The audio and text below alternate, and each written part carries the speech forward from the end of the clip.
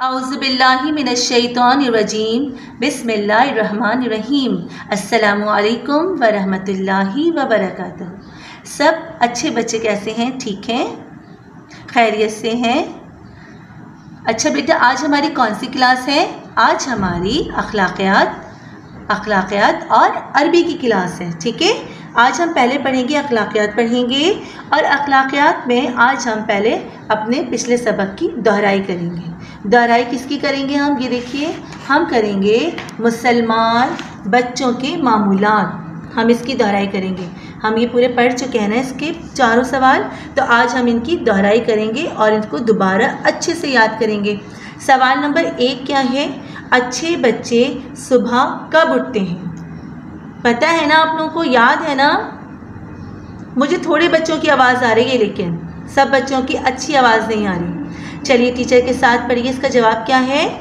अच्छे बच्चे सुबह जल्दी उठते हैं। जी, क्या जवाब है इसका? अच्छे बच्चे सुबह जल्दी उठते हैं। ठीक है? सवाल नंबर दो। अच्छे बच्चे सोकर उठने के बाद क्या करते हैं?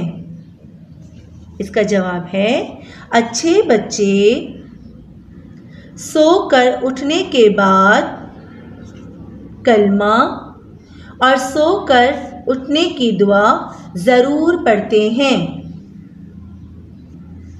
दोबारा पढ़िए, अच्छे बच्चे सोकर उठने के बाद कलमा और सोकर उठने की दुआ ज़रूर पढ़ते हैं। सवाल नंबर तीन, अच्छे बच्चे आपस में कैसे रहते हैं? इसका जवाब क्या है बेटा? अच्छे बच्चे आपस में मिलजुल कर मोहब्बत से रहते हैं। दोबारा पढ़िए, अच्छे बच्चे आपस में मिलजुल कर मोहब्बत से रहते हैं। सवाल नंबर चार, किसी की कोई चीज़ बग़ैर इजाज़त लेना कैसी बात है? इसका जवाब है, किसी की कोई चीज़ बग़ैर इजाज़त लेना बहुत बुरी बात है। किसी की कोई चीज़ बग़ैर इजाज़त लेना बहुत बुरी बात है। ठीक है? हमने इसकी दोहराई की है। आप भी इसकी रोज़ाना अच्छे से दोहराई कीजिएगा। ठीक है? अच्छा जी। अब हम अखलाकियत में क्या पढ़ रहे थे? कि मदरसा आने और कमरे जमात में बैठने के आदाब। टीचर ने आपको इसके कितने सवाल पढ़ा दिए थे? एक, दो, तीन और चार सवाल हम पढ़ चुके हैं। आज हम सवाल नंबर पाँच और सवाल नंबर छः पढ़ेंगे और ये हमारा मुकम्मल हो जाएगा आज, ठीक है? तो हम शुरू से पढ़ लेते हैं ताकि हमारी इसकी भी दोहराई हो जाए। सवाल नंबर एक क्या है? कि अच्छे बच्चे मदरसे में कैसे आते हैं? याद हो गया आप लोगों को? चलिए टीचर के साथ पढ़िए कि अच्छे बच्चे साफ़ सुथरे यूनिफॉर्म में मदरसे आते हैं। सवाल नंबर दो। अच्छे बच्चे अच्छे बच्चे को टीचर की बात कैसे सुननी चाहिए? इसका जवाब है बेटा, टीचर की बात गौर से और तवज्जो से सुननी चाहिए। सवाल नंबर तीन। अच्छे बच्चे को अपनी बात कैसे पूछनी चाहिए? जब आपको कोई बात पूछनी हो तो आप टीचर से कैसे पूछेंगे? तो बेटा, इसका जवाब है, जो बात पूछनी हो या बतानी हो, हाथ खड़ा करके पूछनी चाहिए। ठीक है? सवाल नंबर चार, अच्छे बच्चे अपनी और क्लास की चीज़ों को किस तरह रखते हैं? इसका जवाब है अच्छे बच्चे अपनी और क्लास की चीज़ों का ख्याल रखते हैं और उनको खराब नहीं करते। दोबारा पढ़िए। अपनी और क्लास की चीज़ों का ख्याल रखते हैं और उनको ख़राब नहीं करते। सवाल नंबर पाँच। अच्छे बच्चे मदरसे से वापस आकर क्या करते हैं? जब बच्चे मदरसे से घर आते हैं तो क्या करते हैं? तो बेटा इसका जवाब है, मदरसे से वापस आकर घर वालों को सलाम करते हैं और चीज़ें अपनी जगह पर रखते हैं।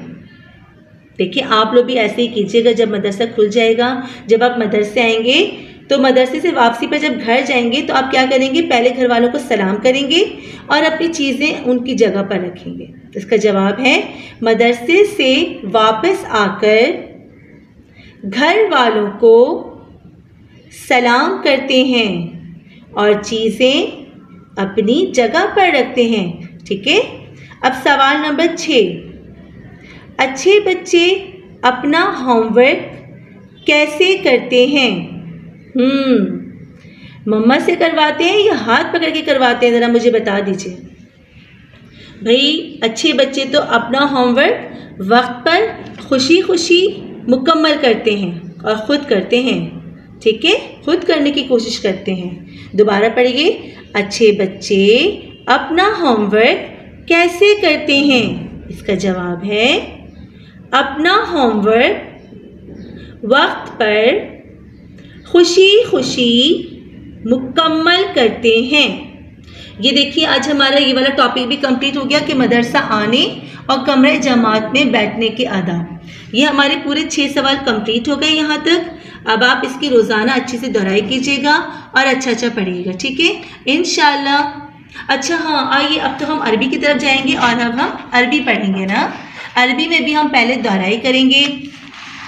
टीचर को थोड़ा पता चल रहा है कि बच्चों को अलादात पढ़ने में थोड़ी मुश्किल हो रही है।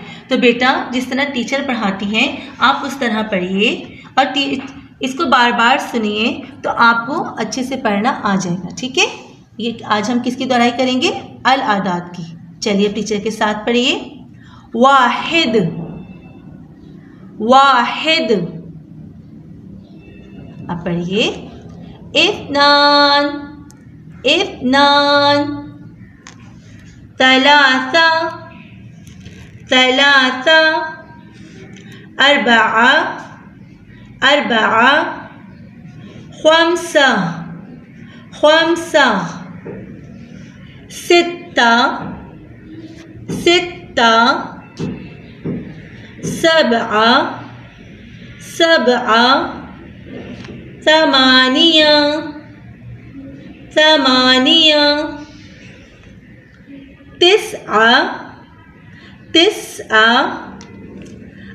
अशरा अशरा ठीक है बेटा वाहिद से अशरा तक दोहराई कीजिए रोज़ाना पढ़िए इन आपको याद हो जाएगा आइए, अब हम पढ़ेंगे अयामुल उज़्बी।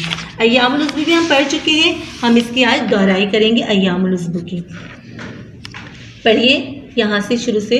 यौम सब्त यौम सब्त यौमुल सब्त यौमुल अहद यौमुल अहद यौमुल अहद। यौमुल इत्नैन यौमुल इत्नैन यौमुल इत्नैन यौमुल तुलसा यौमुल तुलसा यौमुल तुलसा यौमुल अरबआ यौमुल अरबआ यौमुल अरबआ यौमुल खमीस यौमुल खमीस यौमुल खमीस यौमुल जुमुआ यौमुल जुमुआ यौमुल जुमुआ ठीक है बेटा? अब आप इसकी भी दोहराई कीजिएगा। इन आपको बेहतर तरीके से याद हो जाएगा और अच्छा याद होगा, ठीक है? इन हम नए सबक के साथ फिर हाजिर होंगे। तब तक के लिए